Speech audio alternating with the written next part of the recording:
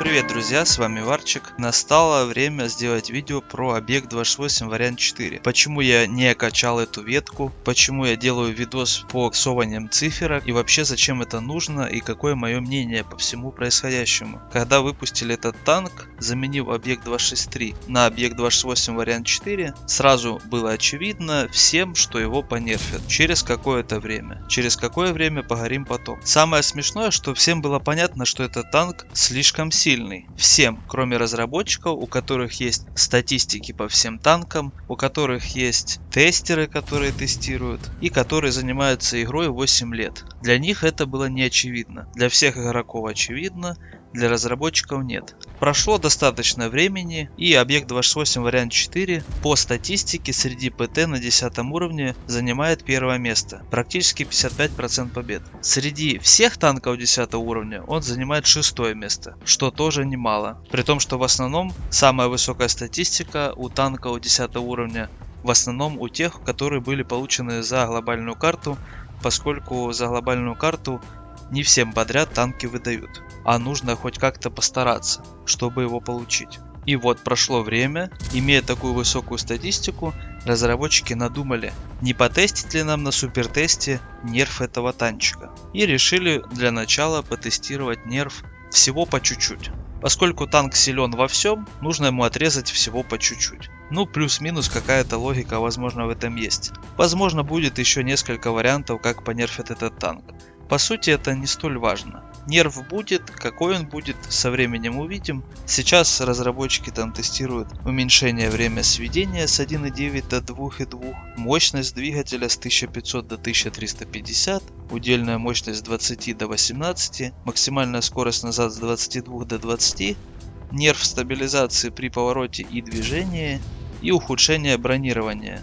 НЛД там полосочку на 30 мм отрежут, триплекс на 20 мм, ну и лючок на 20 мм. Везде по чуть-чуть покусали этот танчик, поцарапали, побили ногой ему в люк и короче в релиз. Потестируют, может так отправят в релиз, может еще что-нибудь по-другому сделают по сути не столь важно. За долгое время игры в World of Tanks я уже изначально вижу, что эту ветку мне интересно качать, эту неинтересно, эту ветку понерфят и качать ее не стоит. И есть ветки, которые еще на общем тесте апают и видно, что ветка сбалансированная и вряд ли с ней что-то будут делать, а со временем возможно даже апну. Как я к этому всему отношусь? Те ветки, в которых есть переапанная десятка, их качать мне уже желания что-то нет. Когда-то было время при выпуске гриля, я бросился на эту ветку, выкачал, радовался грилю, бахал-бахал, а потом грилю что-то как отрезали при нерфе, и я такой, да ну нафиг, и продал его. И я потом подумал, ну да, прикольно, я выкачал имбовый танк, да, я побахал на нем, но у меня потом его забрали, я потратил время, я купил прем аккаунт, фармил на прем-танках серебро, переводил свободку за деньги, а потом танчик хоп, и не тот, который я выкачал, а другой. Вопрос, нафиг он мне нужен? И стоят ли потраченные усилия и средства для промежуточного нагиба на переапанном танке? Это решать вам. Я для себя тогда решил, что такие ветки качать мне не интересно. Поскольку игра не на 2 месяца, а на долгие годы, то такие танки сильно быстро в себя влюбляют, а потом сильно быстро тебя шлют в одно место.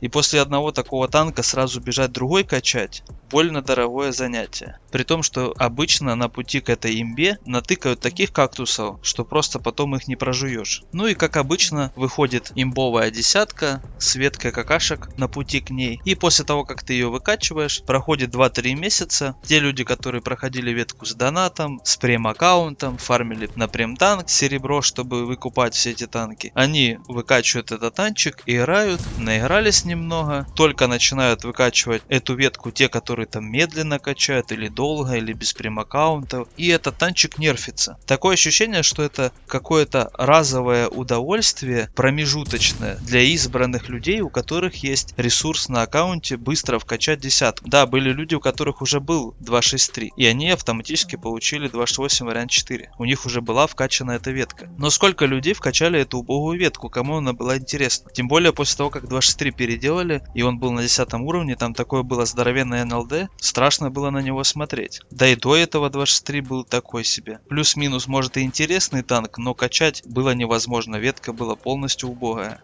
Вот и складывается у меня такое мнение заранее, что вот эту ветку у меня есть желание качать, а вот эту ветку, да ну ее нафиг. Потому что я прокачаю кучу каких-то кактусов, получу танк, который мне потом поменяют на другой танк, еще неизвестно на какой. Да ну его в пень. Вот допустим, качаю я итальянскую ветку, вряд ли ее там понерфят. Ее там на общем тесте натягивали, потому что она была вяленькая, это вся ветка. Да и сейчас я когда качаю, там 5, 6, 7 уровень, просто вырви глаза. А 8, 9 уже нормальные. Ну, в принципе, это не сильно страшно, когда плохие танки на пятом, шестом, седьмом уровне. В принципе, на них можно играть, там не сильно тяжело. А вот когда плохой танк на восьмом, девятом уровне, это вообще лучше не качать даже. И вот в итальянской ветке я все посмотрел на тесте и понял еще изначально, что чем выше танчик уровнем, тем он комфортнее и приятнее и геймплей тот, который нравится мне. Быстрые ватные стэшки с офигенными точными стабилизированными пушками. Вот и получается, что качать, конечно, никто не заставляет, но видно, что есть